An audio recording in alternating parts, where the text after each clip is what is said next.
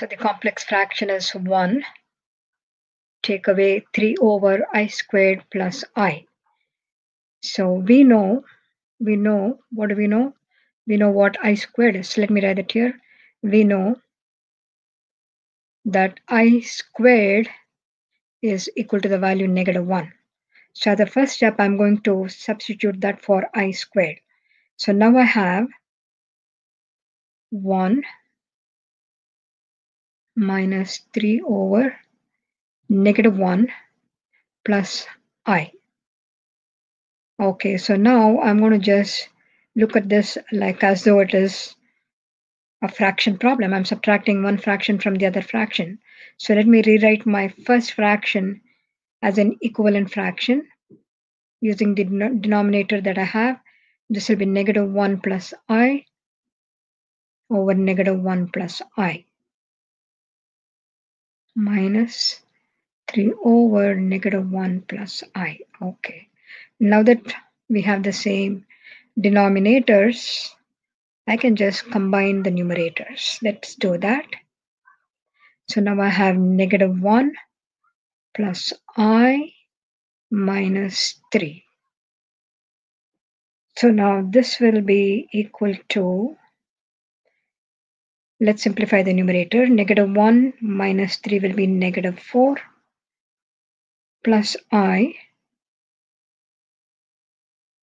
over negative 1 plus i. Okay, so even though I have simplified the two fractions to one fraction, I cannot leave it like this.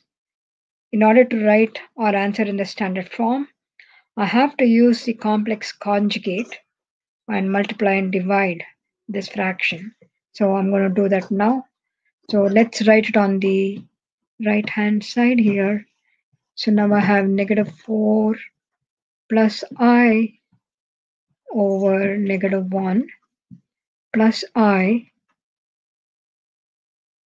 multiply by negative 1 minus i. The complex conjugate of negative 1 plus i is negative 1 minus i.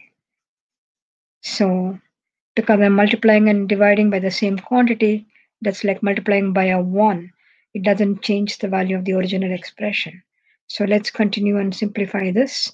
So now I have negative 4 times negative 1 and then I have negative 4 times negative i plus i times negative 1 plus i times negative i over now in the denominator you have a plus b times a minus b that's the form of the denominators so that's equal to a squared minus b squared.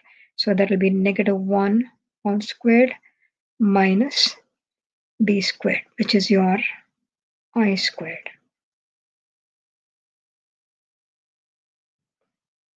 Continuing to simplify, negative 4 times negative 1, negative 4 times negative i, that's a positive 4i, then now i times negative 1 plus i times negative 1. So that's a negative i plus i times negative i, that's minus i squared over, now negative 1 all squared is 1, minus i squared is negative 1. All right, so now we have 4 plus 4i minus i minus negative 1. So that's going to be a plus 1 over in the denominator have a 2. So now this simplifies to 4 plus 1 is 5. And then 4i minus i is 3i. So now I can rewrite this as 5 over 2 plus 3 over 2i.